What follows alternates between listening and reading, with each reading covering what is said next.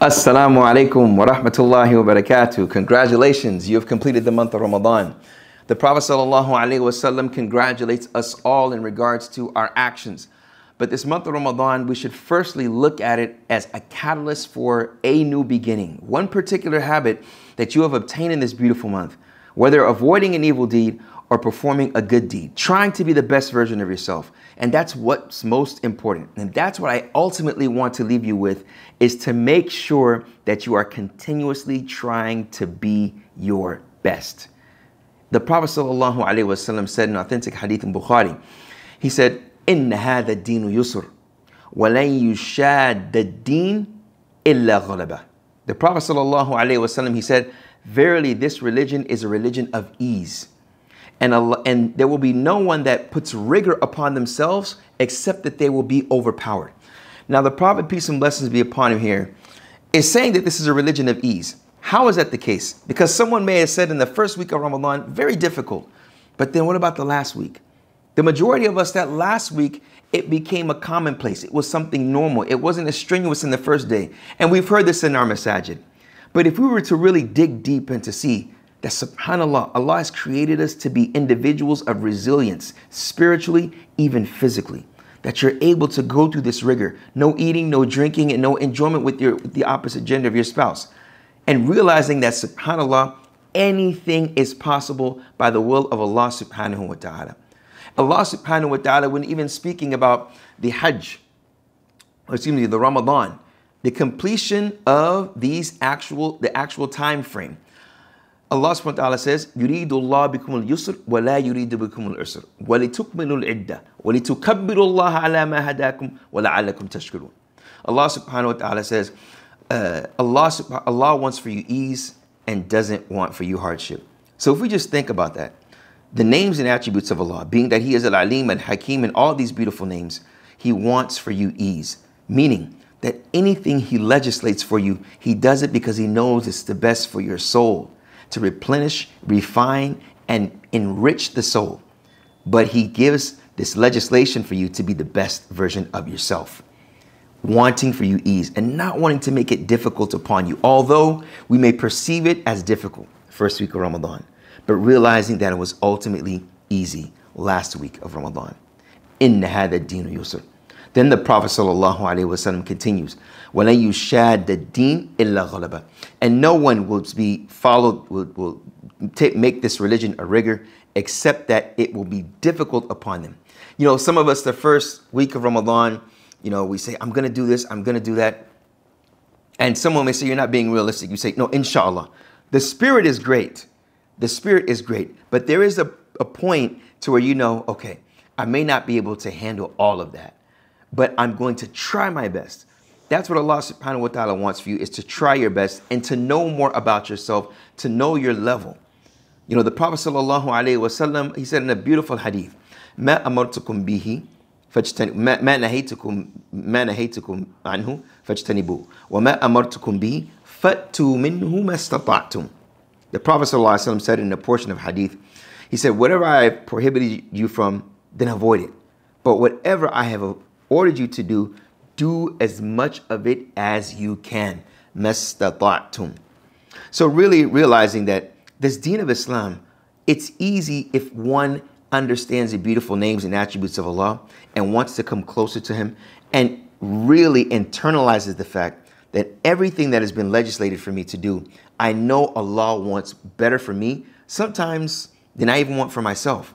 We realize that subhanAllah, just me practicing this, I can receive much reward psychologically, physically, and spiritually. So when the Prophet ﷺ is saying that no one will make this deen a rigor except that it will overpower him. Think of your personal situation, the beginning of Ramadan, how you wanted to, to, to, to do your best. This is great. But also knowing yourself in the process, what you can handle, being gradual. The Prophet ﷺ continues on. And he says after that, فَسَدِّدُوا وَقَارِبُوا وَأَبْشِرُوا Saddidu, sadad means bullseye or to hit the point, to hit the mark. But here some of the scholars mention a sadad yani at-tawassut fil umur. To make sure that you're taking the middle course. You're not going too far and you're not negligent. If you can pray Taraweeh at night, instead of watching television, you went up and you prayed Taraweeh. If you got up in your house, you know, you tried your best, but there is always an opportunity. There's no ceilings. You're able to go to the masjid. You're able to internalize every verse, every rakat, and try to ponder even the lecture in between the Taraweeh. You're thinking about what's being recited. You may not understand the Arabic, but at least you go there to be with the angels in the masjid, to be with the Muslims, to see the smiles, to get the smiles. You're remembering the hadith when you smile. It is like charity. You walk in the masjid, you get 25 to 27 blessings. You're with the jama'ah. When you say ameen, the angels say ameen. You be, be forgiven from your sins. There's so many spiritual opportunities from your actions. So when the Prophet is saying, Saddidu, it is for you to take the middle course, not being too negligent and not going over the bounds, being too rigor, rigorous on yourself. After that, he says, Waqaribu. And this is beautiful because it shows that we are human beings and we are at different levels. And there may be a time, you know, at Isha, your iman was higher than that than it was at Fajr. In the middle of the night is where there was an epiphany. You had a closeness to Allah subhanahu wa ta'ala like none other the Prophet ﷺ saying, qaribu. This is an imperative verb. At least come close to the mark. From qarib. To come close to the mark, which is saying, do your best to be your best. This is very important for all of us. Then after that, he says, wa abshiru. And congratulate yourself. Have good thoughts. Congratulate others. Have good thoughts about Allah subhanahu wa ta'ala. So when leaving this month of Ramadan, those habits, those moments that you had, try to recall them in the middle of the night by yourself, reading the Quran, and you read a certain verse and you had a flashback of a particular situation in your life and it made you shed, shed tears. It made you ask for forgiveness. It made you text a certain person that you had bad blood with and did was not on good terms with. Allah, the Prophet ﷺ is saying, "Wa abshiru."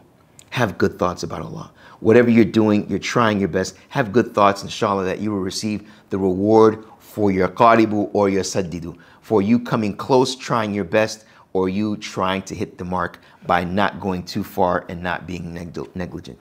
Then the Prophet ﷺ says, even after that, وَاسْتَعِينُوا بِالْغُدُوِّ وَالرَّوْحَ وَالشَّيْءٍ مِنَ الدُّلْجَةِ The Prophet ﷺ, he said, after coming close or trying your best to, after hitting the mark or trying to come close to that, congratulate yourself, have good thoughts, or congratulate, be congratulatory. Then he says, "Wasta'inu bil wa-roha wa Then he even gives you when do you do that in a, a time frame, an action plan, somewhat. He says, and seek help, yani in worship, and doing these things that you're trying to do. Whether it's at the beginning of the of the day, the end of the day, or a portion of the night. You, subhanallah, the Prophet ﷺ is saying seek help with these time frames of the day to do this worship. So when you look at that, subhanAllah, you think to yourself, okay, after Ramadan, what's my game plan? I would say one form of advice that I would give all of you is to make sure that you have time with yourself to read a hadith as such. You have time with yourself to do self-review. Whether it's before you go to sleep, whether it's you know in your car before you walk in the home, whether you have to go to a certain place from after leaving work, before you go home, have that habit of having your alone time with yourself, with Allah subhanahu wa ta'ala. Primarily that alone time is the salah. Making sure that you have undivided attention about your attention in life. Undivided attention concerning your actions in your life. Where you've gone wrong, where you didn't avoid something, where you did something great. That alone time is so important. And that alone time is when Allah subhanahu wa ta'ala chose to call the Prophet sallallahu alaihi wasallam, Iqra, kana yatahannath. He used to, for lack of better words, meditate in the cave of Hira, spend time alone. And it's even narrated by Aisha that he would take supplies with him when she was narrating, mentioning this, and then he would come back to the house, uh, get some supplies from Khadija, and go back to the cave to spend time with himself. That's when Allah chose to send the revelation. So, brothers and sisters, remember this month of Ramadan is not seasonal in regards to our closeness to Allah. Rather, one particular action, make sure that it's consistent till the next Ramadan, moving on to another action. But with that action, make sure you strive to be your best. And if you prayed at home, that's still you trying your best. But make sure if you have the opportunity to pray at the masjid, there's an opportunity to be even better. And upon that attempt, if you made that correct attempt, or if you didn't, if you, you didn't even reach it, be happy and have good thoughts about Allah and know that there's another opportunity to be better and always have good thoughts about yourself, about Allah subhanahu wa ta'ala, and about others. May Allah subhanahu wa ta'ala make these following days, months, 11 months, days of barakah, days of you striving to be better, and days of you spending time alone with yourself and with Allah to ponder over the blessings that He's given you. Assalamu alaikum wa rahmatullahi wa barakatuh. May Allah subhanahu wa ta'ala bless you all. Barakallahu fikum.